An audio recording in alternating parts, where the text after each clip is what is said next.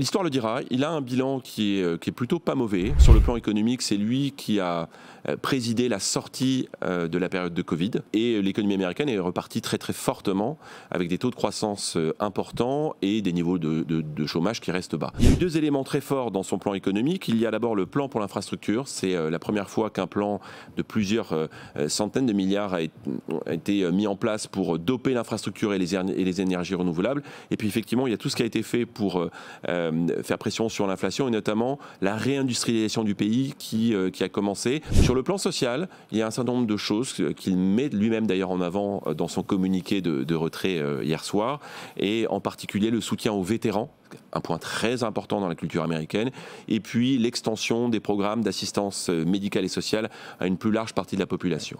C'est peut-être sur le plan de la politique étrangère où là... ce que j'allais vous dire, ça c'est les échecs. Il y a, alors, c'est plus mitigé. Euh, c'est plus mitigé. Il y, a clairement, voilà, il y a les images du retrait d'Afghanistan qui ont été terribles. Euh, il y a le soutien à l'Ukraine qui a été en revanche plutôt considéré comme euh, tardif mais efficace. Tardif mais finalement assez massif, notamment sur le plan pécuniaire et en, matière d'armement.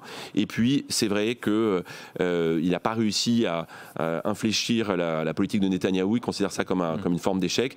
Moi, je crois que ce qu'on retiendra, c'est son retrait, parce qu'il est encore une fois inédit dans l'histoire.